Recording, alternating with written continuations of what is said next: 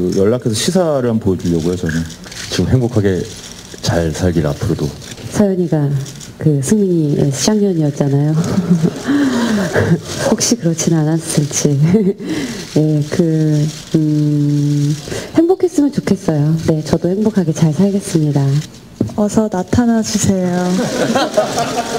건축학개론 가졌으면 좋겠고 예. 잘 살았으면 좋겠네요. 네. 들을래?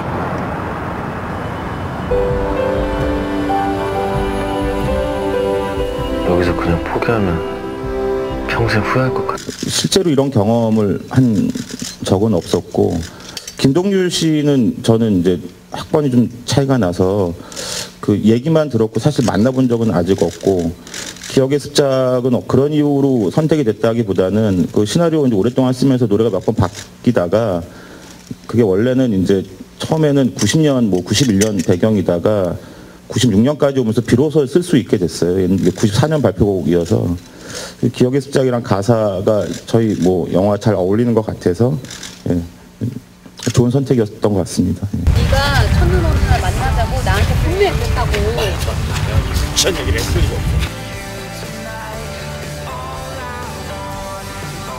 어찌 보면 제가 배우분들 모시려고 계속 매달리는 형국이었죠. 그 유연함, 약간 능글능글함, 그 그런 걸 연기해 줄 수 있는 배우였으면 좋겠다. 이제 태웅 씨로 시작을 했죠 캐스팅을. 가인 씨가 그런 면에서 음, 굉장히 신비로운 느낌도 있고 실제 만나보니까 그 털털하신 성격 그런 게 굉장히 좋았었고요. 재훈 씨, 수지 씨 같은 경우도 뭐 재훈 씨야 워낙 그때 뭐 고지전이랑 파수꾼으로 핫한 연기 잘하는 친구였고 수지 씨 아이돌 중에 가장 연기 잘하는 연기돌이었고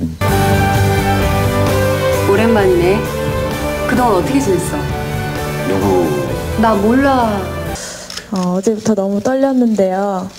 음, 드라마에 이어서 연기를 다시 하게 돼서 되게 더 발전된 모습을 보여드리고 싶었던 것 같아요. 되게 신기했었던 것 같아요. 삐삐도 처음 봤고요. 또 그런 그런 CD 플레이어도 되게 신선했던 것 같고, 음, 되게 좋, 좋았던 것 같아요. 첫 작품이네. 한번 잘해봐.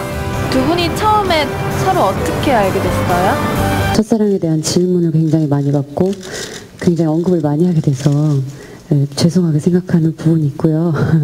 제가 제일 기억나는 건 그 첫사랑하고 같이 거닐었던 그 길이나 아니면 봄볕 그리고 햇볕 막 이랬던 바람 이런 것들이 기억이 많이 나요. 얼굴이나 이런 것보다는 음악 특히 같이 들었던 음악 예, 그래서 보면서 어, 네, 기억의 습작 그때 같이 들었던 것 같고 개인적으로는 많이 도움이 됐어요. 예, 그 어, 태용 선배님이랑 만, 만드는 씬에서 그랬던 기억들을 다시 떠올리려고 생각을 했었고요. 보면서 어, 모르겠어요. 제가 나이가 든 건가 싶은데 저는 되게 마음이 먹먹했었거든요. 왜 슬픈 씬이 아닌데도 뒤에가 계속 음, 마음이 먹먹한 느낌이 있었는데 예, 그 옛날 기억 때문일까요? 수업을 하나 들었었는데요. 음, 뭐였더라? 건축, 건축가 뭐였지? 그 뭐 특별히 그건 없었고 그냥 제가 뭐 친한 친한 친구한테 자주 쓰는 예 이게 요거보다 더 심해지면 너무 혐오감을 주고 그 뭐 나쁜 년은 너무 약한 것 같고 제가 그리고 즐겨 쓰는 단어여서 자연스럽게 들어간 것 같아요. 너도 말 놔. 제가 못 나요. 뭐라니까? 아 갑자기 막 놀아 보면 제가 못 나요. 자, 이거 계약금. 근데 네가 지어줘. 어, 예상치도 않은 승민이 소포를 보고 뭐가 들었을까 궁금하기도 했고 열어봤을 때는 제 속말은 자식 그때 왔었네 이거였거든요. 아 그리고 있었으면 좋겠던 거는 편지 하나 있었으면 어땠을까 싶어요.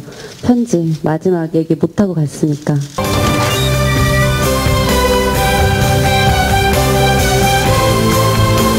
제가 스무 살 때 이 영화 봤, 봤으면 어땠을까? 예.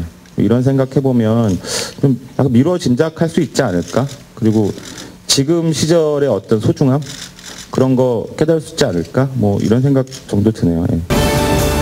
너 옛날에 약속했었잖아. 나 집 지어준다고. 어, 여러분들께는 봄의 햇살 같은 영화로 기억되었으면 좋겠습니다.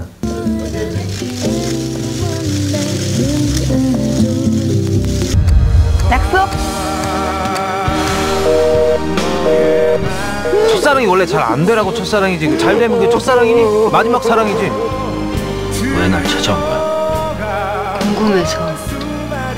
지금은 어떤지. 궁금했어.